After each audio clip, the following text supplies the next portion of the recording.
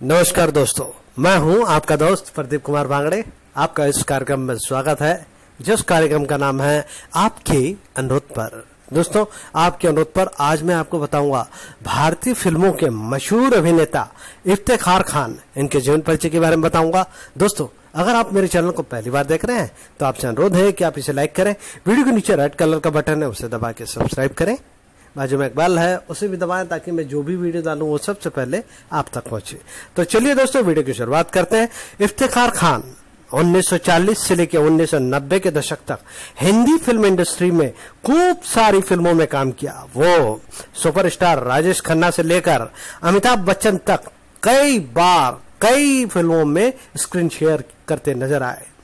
उन्हें the real police of Bollywood कहा गया। क्योंकि उन्होंने ज़्यादातर फ़िल्मों में पुलिस ऑफिसर का दमदार किरदार निभाया और उसमें जान फूक दी। दोस्तों, इफ्तिखार खान एक्टर होने के साथ साथ पेंटर और सिंगर भी थे। एक तरफ़ वो अपने करियर बना रहे थे तो दूसरी तरफ़ उनकी ज़िंदगी में तूफ़ान आ गया। जब देश का विभाजन हुआ, उनका परिवार पाकिस्तान चला गया। लेकिन उन्होंने भारत में रहने का फैसला किया। इस दौरान वो आर्थिक तंगी से गुजरे, लेकिन हार नहीं मानी। फिर उनकी किस्मत चमकी और बॉलीवुड में छा गए। इफ्तिखार खान का जन्म 22 फरवरी 1924 को जालंधर, भारत में हुआ था। वो चार भाई और एक बहन में सबसे बड़े थे।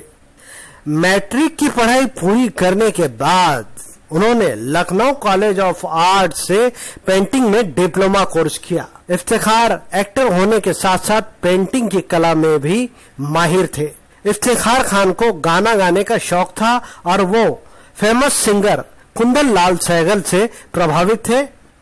यही वजह थी कि 20 साल की उम्र में संगीतकार कमल दास गुप्ता के ऑडिशन के लिए वो कोलकाता चले गए।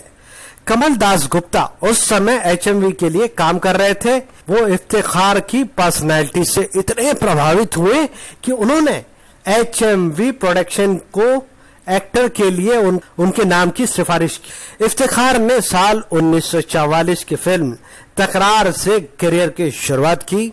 ये मूवी आर्ट फिल्म्स कोलकाता के बैनर तले बनी। दूसरी तरफ़ उनकी पर्सनल ज़िंदगी में उथल पुथल मची हुई थी। देश के विभाजन के दौरान उनके माता, पिता, भाई और बहन और कई करीबी रिश्तेदार पाकिस्तान चले गए।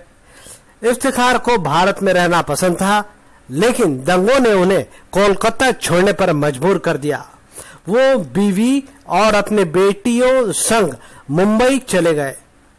इस दौरान आर्थिक स्थिति खराब हो चुकी थी, लेकिन मुंबई में किस्मत उनका इंतज़ार कर रही थी। इफ्तार को कलकत्ता में उस समय के दौरान एक्टर अशोक कुमार से मिलवाया गया था। यही वजह रही कि मुंबई में बॉम्बे टैकिज की फ़िल्म मुकद्दर, जो कि 1950 में एक किरदार के लिए उनसे संपर्क किया गया, इसके बाद उन्होंने कभी पीछे मुड़कर नहीं देखा।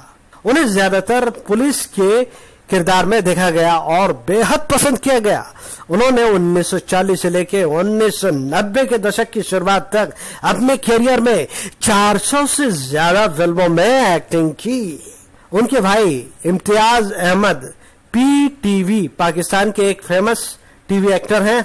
इफ्तिखार ने बतौर लीड एक्टर भी काम किया, लेकिन उन्होंने ज़्यादा फ़िल्मों में पिता अंकल ग्रेट अंकल दादाजी पुलिस ऑफिसर कमिश्नर जज और डॉक्टर के किरदार निभाए और उसमें जान फूक दी और उन्हें दर्शकों ने काफ़ी पसंद किया। उन्होंने बंदिनी, सावन भादो खेल खेल में और एजेंट विनोद में नेगेटिव रोल किया। 1960 और 1970 के दशक में इफ्तार ने तो चाचा और पिता की खूब भूमिकाएँ निभाई। उनकी एक्टिंग सीधे दिल में उतरती थी, चाहे कड़क पुलिस अधिकारी का किरदार हो या फिर भावुक पिता का। वो यश चोपड़ा की क्लासिक फ़िल्म देवार, जो कि 1975 में आई थी। इसमें अमिताभ बच्चन के करप्ट बिज़नेस मेंटर का किरदार निभाया था। उन्होंने जंजीर में पुलिस इंस्पेक्टर का दमदार किरदार निभाया।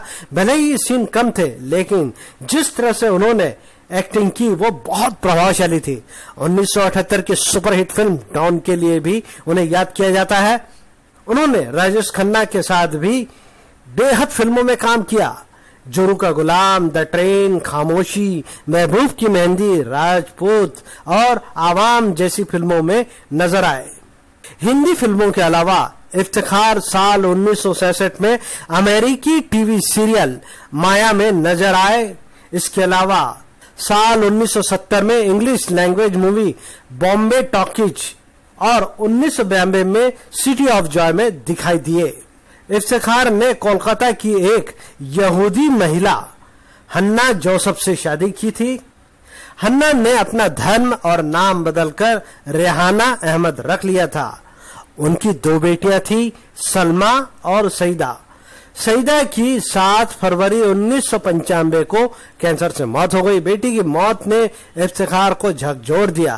अपने सामने अपनी बच्ची को मरता देख उन पर क्या बीती होगी, यह एहसास करना भी दर्दनाक है। बेटी के गुजरने के बाद वो बुरी तरह बीमार पड़ गए और वो अंदर ही अंदर इतने घुटते रहे कि बेटी की मौत के एक महीने के अंदर ही चार मार्च को इफ्तार की इकहत्तर वर्ष की आयु में मृत्यु हो गई। इनकी मृत्यु 4 मार्च उन्नीस सौ पंचानबे को मुंबई, महाराष्ट्र, भारत में हुई। दोस्तों, एक बार इफ्तार खान के बारे में संक्षिप्त में जानकारी। इन्हें सईदान इफ्तार अहमद सरफराज के नाम से भी जाना जाता है।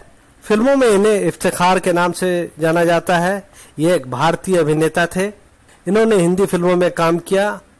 इन्हें मुख्य रूप से पुलिस अधिकारी के रूप में जाना जाता है। 22 फरवरी 1920 को जालंधर, पंजाब, ब्रिटिश भारत में इनका जन्म हुआ था। इनकी मृत्यु हुई 4 मार्च उन्नीस सौ पंचानबे को मुंबई, महाराष्ट्र, भारत में हुई। ये उन्नीस सौ सैंतीस से लेकर उन्नीस तक लगातार फ़िल्मों में सक्रिय रहे। दोस्तों, इन्होंने 400 से अधिक फ़िल्मों में अभिनय किया है। इनकी सारी फ़िल्मों का नाम लेना तो संभव नहीं है तो मैं इनकी कुछ एक फ़िल्मों का नाम आपको अवश्य बताऊँगा। उन्नीस में आई काजल की लड़की, उन्नीस सौ अड़तीस में आई अंतिम पत्नी, उन्नीस सौ में आई पतंगा, उन्नीस सौ इक्यावन में आई सगाई, उन्नीस सौ बावन में आई आशियाना, उन्नीस सौ तिरपन में आई एक दो तीन, उन्नीस में आई मिर्ज़ा गालिब, उन्नीस सौ चौवन में नौकरी, उन्नीस सौ पचपन में श्री 420 जिसे पुलिस इंस्पेक्टर बने थे 1955 में देवदास, उन्नीस सौ छप्पन में जागते रहो, उन्नीस सौ सत्तावन में अब दिल्ली दूर नहीं दिल्ली का ठग उन्नीस कल्पना 1960 इसमें जौहरी बने थे प्रोफेसर उन्नीस सौ बासठ सूरत और सीरत उन्नीस सौ बासठ रंगोली उन्नीस बंदिनी उन्नीस तीसरी मंजिल 1966 फूल और पत्थर 1966 दो धोनी चार उन्नीस आदमी और इंसान उन्नीस सौ उनहत्तर सावन भादो 1970 द ट्रेन 1970 प्रेम पुजारी 1970 खामोशी 1970 कुंदन उन्नीस दास्तान उन्नीस जुआरी उन्नीस रा, राजा रानी उन्नीस सौ तिहत्तर लोफर उन्नीस सौ तिहत्तर जंजीर उन्नीस सौ तिहत्तर झील के उस पार उन्नीस सौ तिहत्तर ब्लैकमेल उन्नीस सौ तिहत्तर अचानक उन्नीस डाक बंगला उन्नीस सौ चौहत्तर प्राण जाए पर वचन न जाए उन्नीस सौ चौहत्तर चोरी मेरा काम उन्नीस सौ पचहत्तर शोले 1975 यहाँ दोस्तों सुपरहिट फ़िल्म शोले इसमें राधा के पिता के रूप में थे फकीरा 1976 ज़िंदगी 1976 एजेंट विनोद 1977 विश्वनाथ 1978 गंगा की सौगन 1978 त्रिशूल 1978 डॉन 1978 द ग्रेट गैम्बलर उन्नीस नूरी उन्नीस काला पत्थर उन्नीस द बर्निंग ट्रेन 1980 कर्ज 1980 चेहरे पे चेहरा उन्नीस सौ इक्यासी खून पसीना उन्नीस सौ इक्यासी दर्द का रिश्ता उन्नीस सौ बयासी मैं आवारा हूँ उन्नीस सौ तिरासी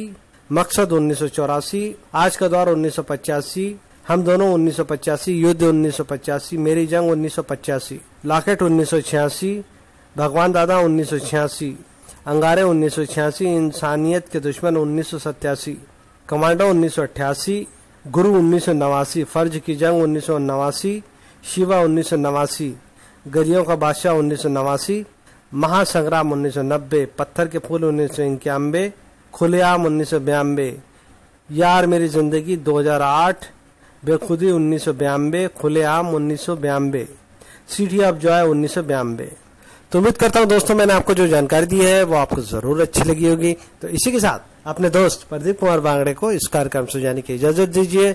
नमस्कार, जय हिंद।